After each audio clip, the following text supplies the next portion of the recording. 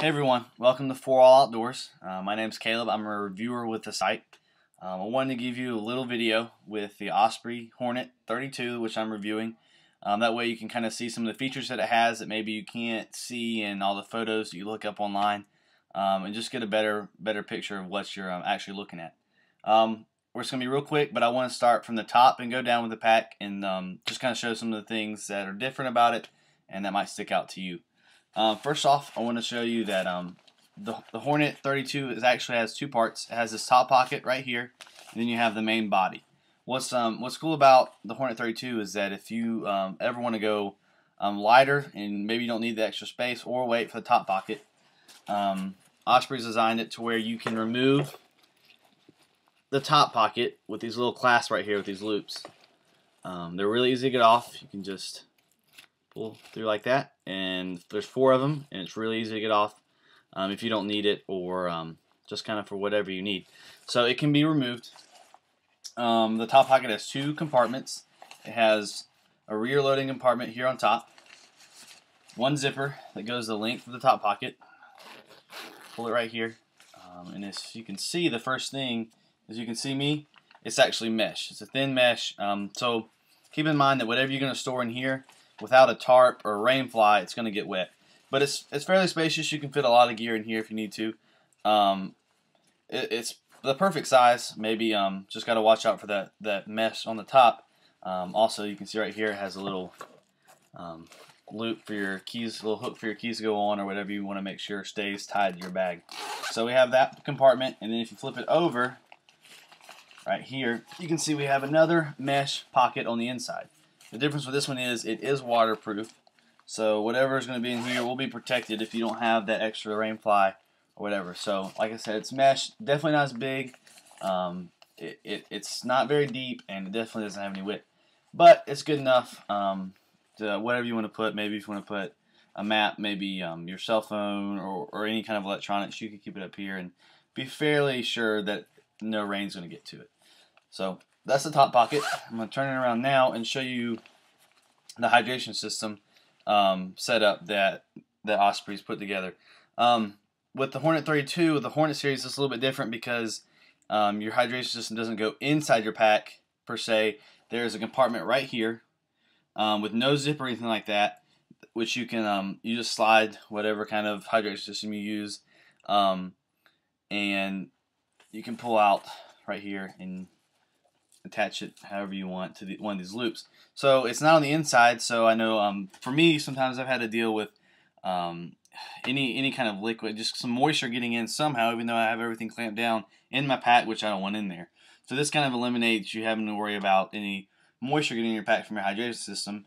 Um, there isn't a zipper, or there's nothing nothing to close this top portion. Um, I'll be curious to see if that causes any problems. Uh, any kind of debris or anything getting in there on the trail. We'll see.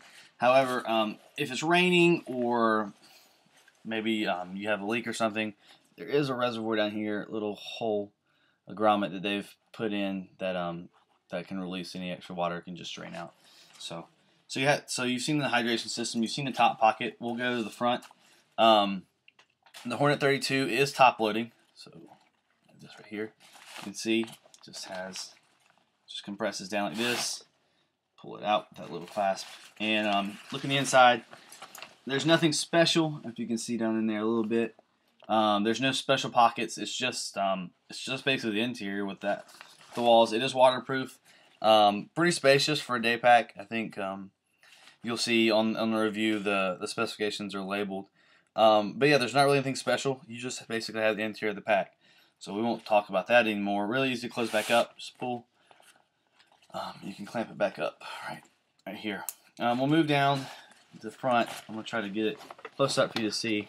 Um, there are lots of places that you can tie down on the pack, um, multiple places throughout. So whatever you want to do, tie down some extra gear, you can do that.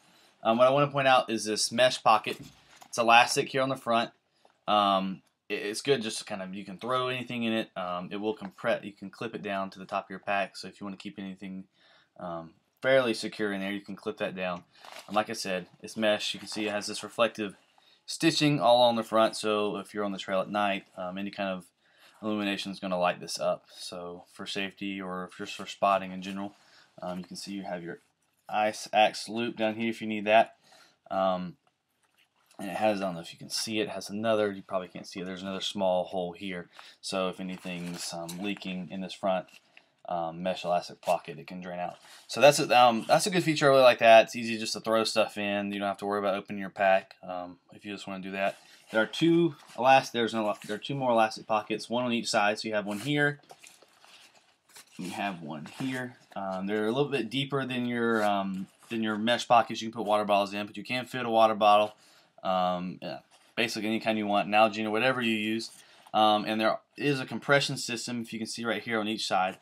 Um, it's really easy to use. You can see it zigzags across the front. All you need to do to compress your whole pack, there's actually a, a upper and lower part. Just pull to compress, and then there's a small clasp right here. You just pull it out. Um, pretty simple to use. The lower portion, not only will it compress the lower portion of the whole um, pack, but it will also, there's an internal system, you can see, we'll pull right here, um, that you can cinch it down and it will um, compress your water bottle. So you don't have to worry about it um, falling out or anything like that. Um, we'll see how it works. Um, this internal zigzag inside the mesh pocket is kind of difficult to get a water bottle in there to make sure it's secure. So it'll be interesting to see how that works out on the trail. It's the exact same thing on this other side you actually have an option. You can leave it exterior for this compression part for the lower portion, or um, you can you can pull everything out and restring it on the inside so this isn't facing the outside. So if you don't want to get caught or you want to get more secure on your water bottle.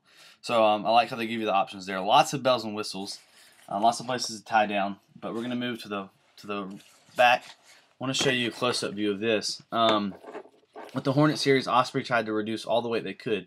So I'm not sure if you can see right here, but all the foam on the straps on this visible is die cut. So they did that to reduce the weight. Um, it's very comfortable. There's not really any hard plastics on the frame or anything like that.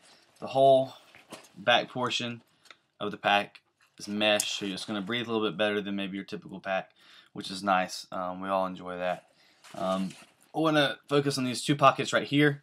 Um, Osprey labels them as gel pockets. So if you have some kind of um, gel that you carry along for energy, caffeine, anything like that, um, they will slip down here. I have a small power, a small energy bar, and it can go down there. It's not the easiest thing, but it can go down there. So maybe you can you can put an energy bar. I actually fit a digital camera in there and a pocket knife. Um, it's about the right size for the pocket knife. Digital camera was a stretch.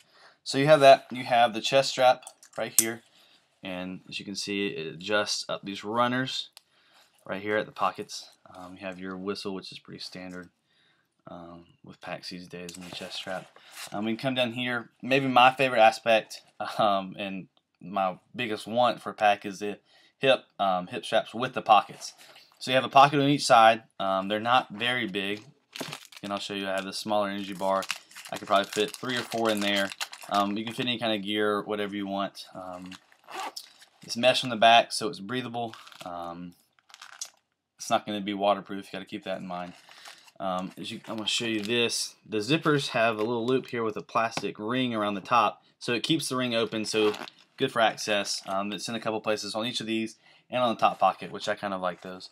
So you have the two um, hip belt pockets, and then um, what I like is the way that you can you can cinch down um, the hip belt is you pull to the center rather than pulling on the outside. If you pull to the center, that um, that allows you to get some more leverage and actually get it tighter on your hips. So I like that. I've had some packs that's the opposite where you pull on the outside and it just kind of ends up pulling your pack around in ways you don't want it to pull and um, it's just not the most desirable thing. So all around, um, I'm really interested to see what this pack's going to do on the trail. It's got a lot of um, bells and whistles, like I said, a lot of different features. Um, I'll try to make sure I um, exploit all of them on the trail and on um, some day hikes. And I'm going to try to get some overnight trips, some ultralight overnight trips with it too. So hope this was helpful for y'all. Um, you can also check out my review with some photos and text. Um, that way you can kind of get a full spectrum review of this product. So This is the Osprey Hornet 32. Um, make sure to be on the lookout for some updates over the next um, three months or so. Thanks.